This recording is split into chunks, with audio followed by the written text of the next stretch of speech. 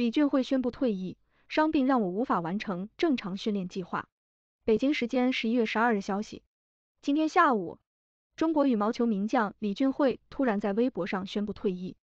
李俊慧表示，自己退役是因为伤病无法完成国家队的正常训练计划，为此，思想和精神也常常被极度困扰。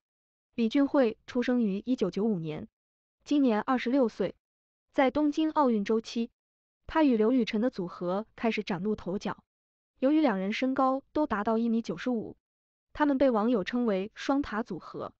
过去几年，李俊慧、刘雨辰多次获得大赛冠军，其中包括二零一八年汤姆斯杯和二零一八年世锦赛男双。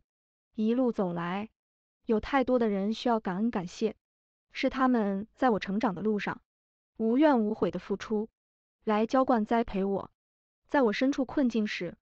拿出爱心，伸出援手，来安抚帮扶我，让我一次次的站上了领奖台。感谢恩师君导，感恩感谢曾经带过我、教过我的教练们，也感谢在我身后默默为我付出的领队、队医等工作人员。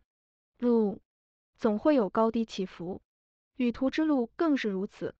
是你们在我登上领奖台时给我掌声，在我低谷时包容我、鼓励我。